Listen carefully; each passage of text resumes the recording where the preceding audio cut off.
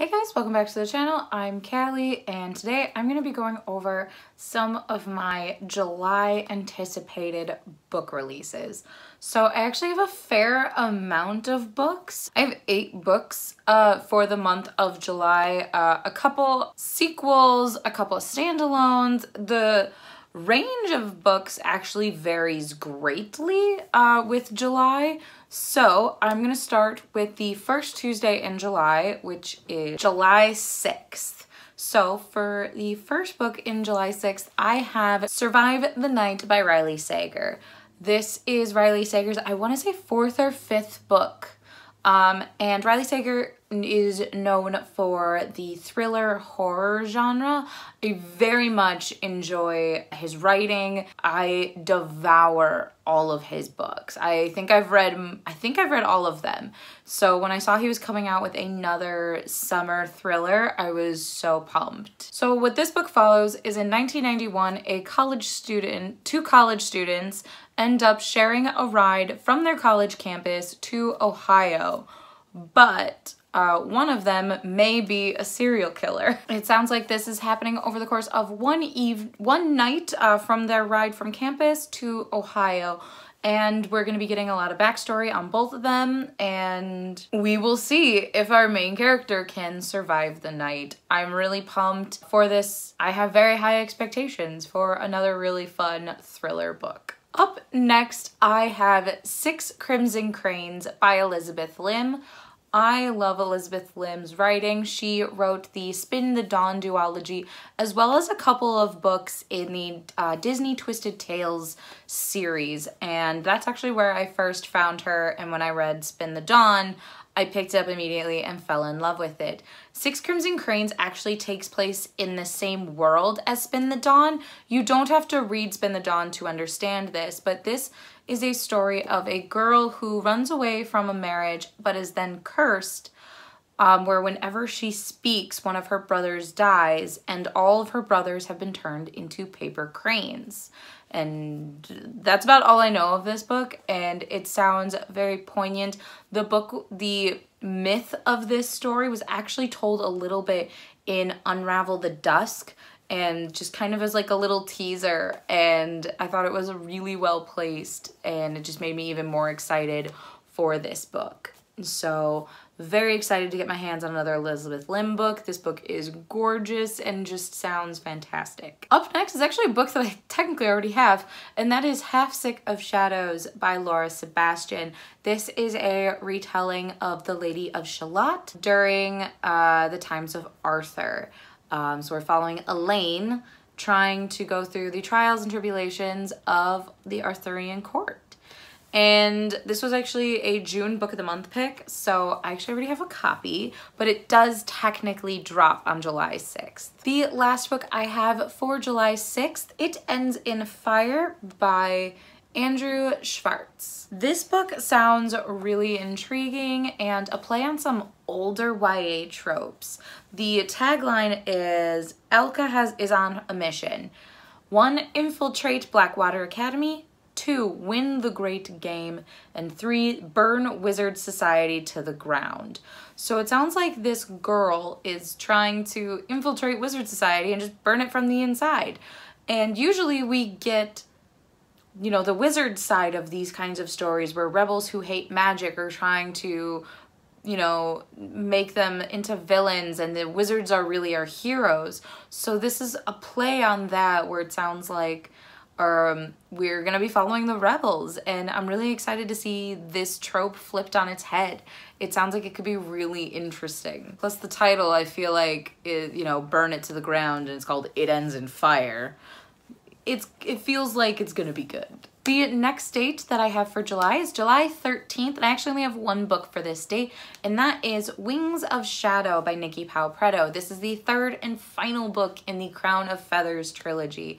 I discovered the Crown of Feathers trilogy uh, because that book was the first Owl Crate I actually ever received, and I loved it. Um, it is a story about phoenix riders. Um, in this world, uh, there was this there was this big war. The country that owned the phoenix riders or phoenixes was burned down and all the phoenixes were killed our two sister, main character, two sisters, finds a phoenix egg and tries to hatch it. And our story kind of goes on from there. I do need to reread it. I've been pushing my reread till this book got a drop date. So I'm to be hopefully doing this uh, soon. And I'll be able to just binge through the trilogy because book one was just so good, full of great twists and turns. Crown of Feathers was uh, Nicki Pau Preto's debut novel, and it was a it was such a strong novel. So I'm so excited to see how her writing has grown throughout the series. I haven't yet touched Heart of Flames, so all of those are going to be new to me, and I'm just very excited. The next date that I have for July is July 20th.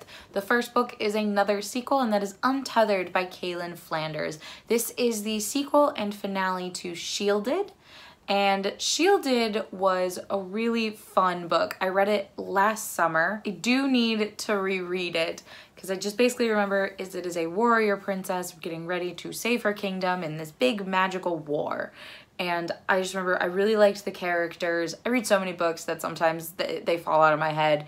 It happens. It's why I love to reread. Um, a lot of my books, especially when sequels come out. I don't really care for like the wiki pages that I know a lot of books do have for, you know, get to get you prepared. If that's more your speed, that is totally up to you. I prefer to just reread the book. That's just how I am. I don't know.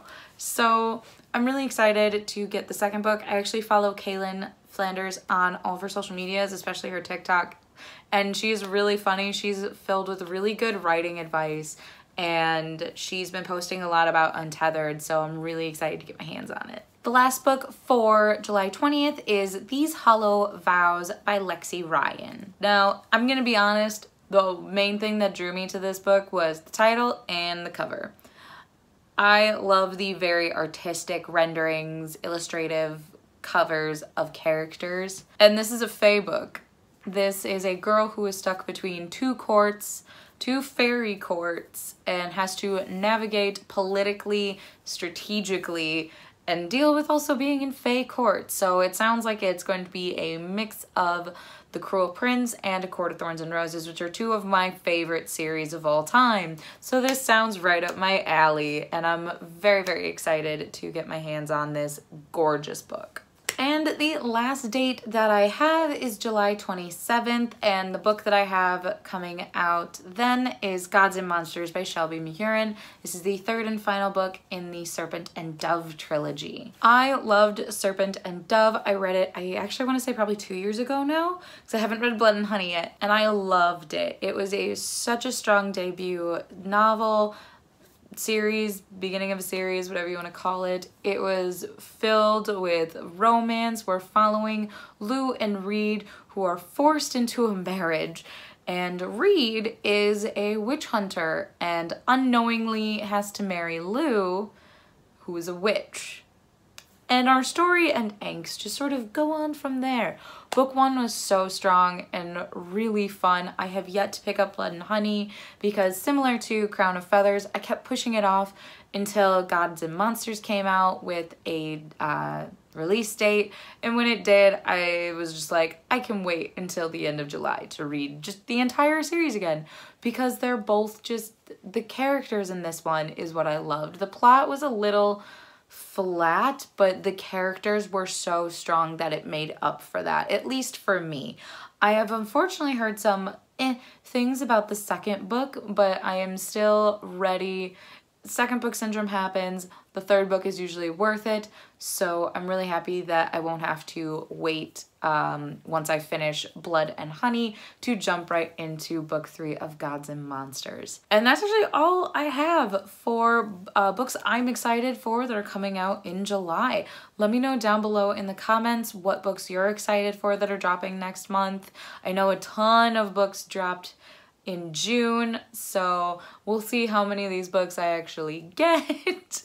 But overall, very excited. A lot of sequels coming out this month, which is fine. Usually fall is when the newer books come out.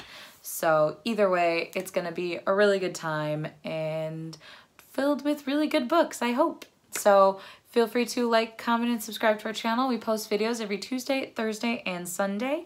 And I will see you guys in our next video. Bye!